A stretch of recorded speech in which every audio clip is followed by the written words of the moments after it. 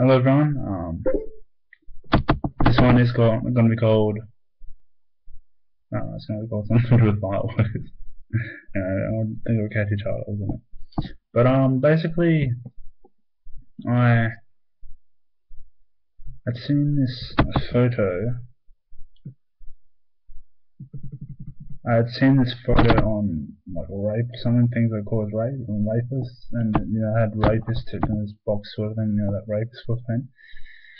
Um, my conclusion as far as um, rape or anything to do with pain, trauma, is that trauma begets trauma, ignorance begets ignorance, like, just like acceptance um, begets or breeds acceptance.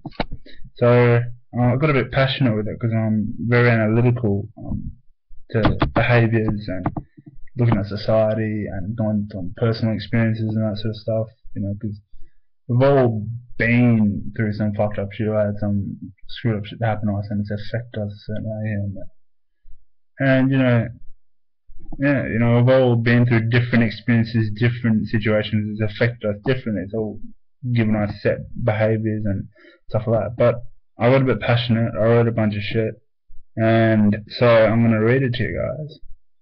And I don't want you to just, no, I want you to listen to the whole thing. It's not that long, but I want you to listen to the whole thing before you make a judgment about it, because I sort of get pretty deep into all this stuff. Okay. So here I go. I know this will go against the grain, against a lot of conventional thinking, but I believe pain and trauma can cause emotional error which can trigger reactions and alter behaviors in some ways and affect people differently from person to person, as we are all different. If this were not the case, we would not have things like fetishes and people liking new things as they grew older and were conformed to model behaviors whilst taking on societal pressures and stuffs. Lol. I personally believe that if these people get help and learn how to process the emotional error associated with the behavior pattern and response action which is then brought on by trauma, because once again, we all get affected by things differently, you know. They will change, and the people who do all this weird scripture will change. None of us here are saints, and we have all had our down moments, so who are we to judge when we have done wrong ourselves, here and there, through some, some whether it's substance abuse, or it's or that.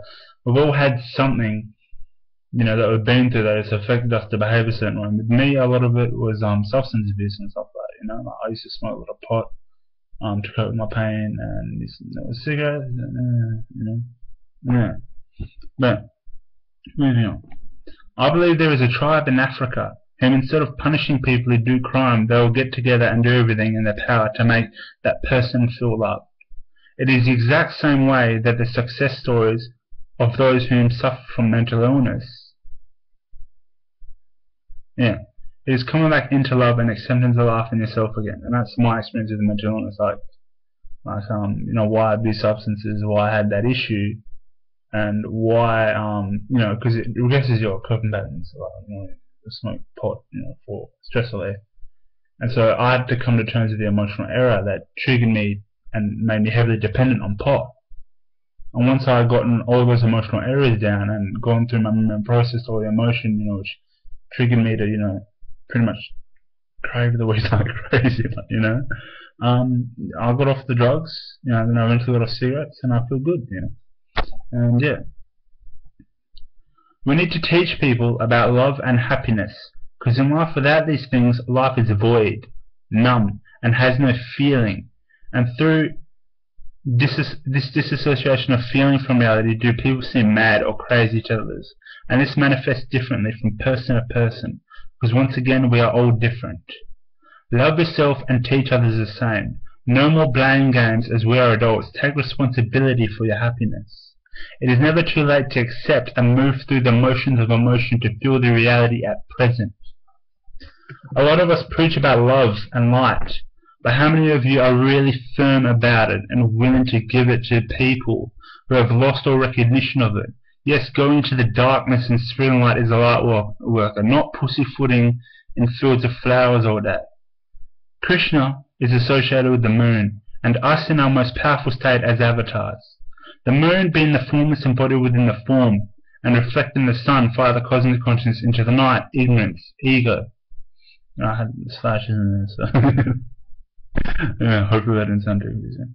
Um, sun slash father slash cosmic slash cosmic slash consciousness introvert night slash arrogance slash ego.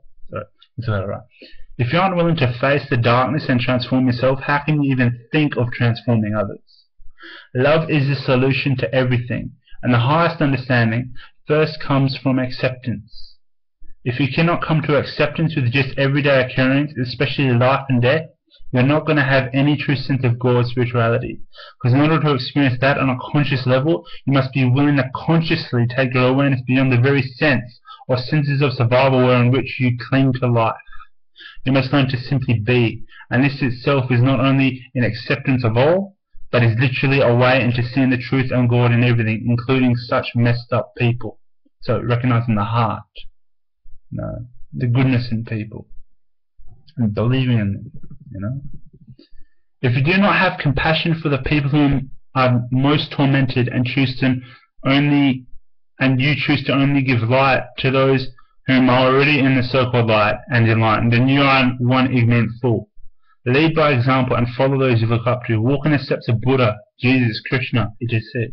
One last thing.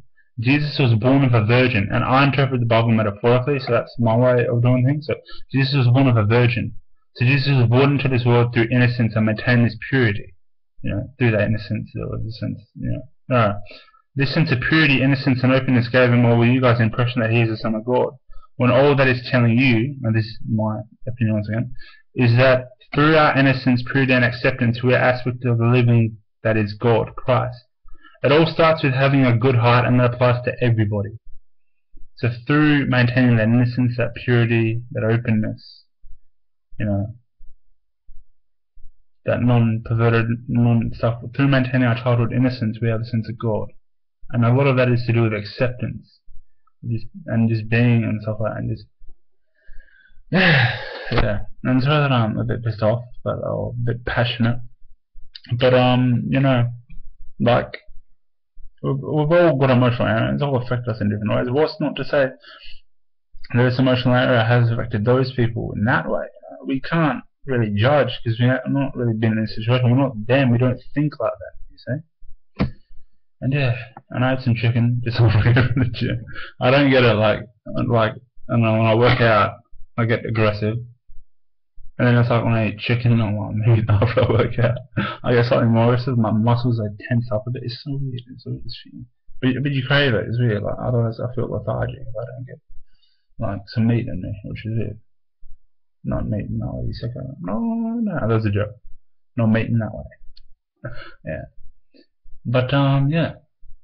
Um, much love, much light, and yeah, namaste. And I hope you enjoy this.